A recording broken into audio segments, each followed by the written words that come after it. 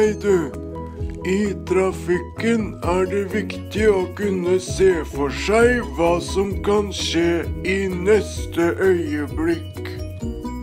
Og det er like viktig enten du ferdes i trafikken som fotgjenger, syklist, i bil, på MC eller i traktor.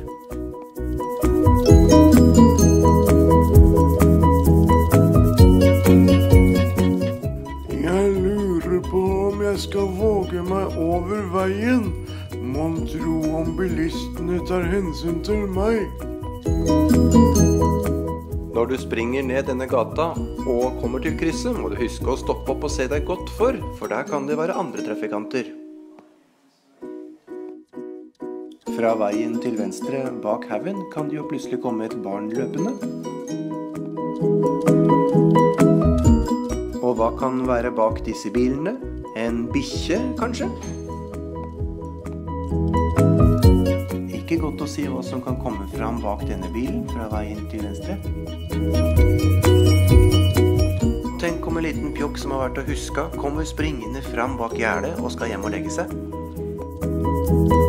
Husk å kjøre sakte fram mot fotgjengerfeltet, for hekken til høyre skjuler jo de som måtte komme på gangfeltet derfra. Jeg meg, er jeg nok på andre siden av veien i morgen tidlig.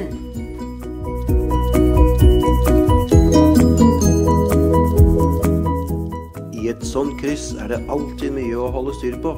Slakk farten og observer andre trafikanter. Jeg tar ikke sjansen på at det kommer en syklist fra venstre bak hekken her.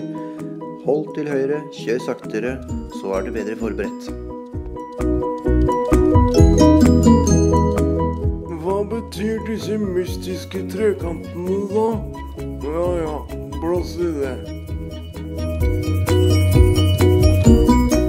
Denne hekken skjuler en vei fra høyre der du faktisk har vikeplikt.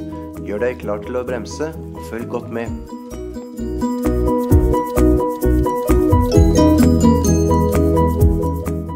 Her har en bil parkert rett foran fotgjengerfeltet. Det kan jo være at noen står der og venter på å komme over.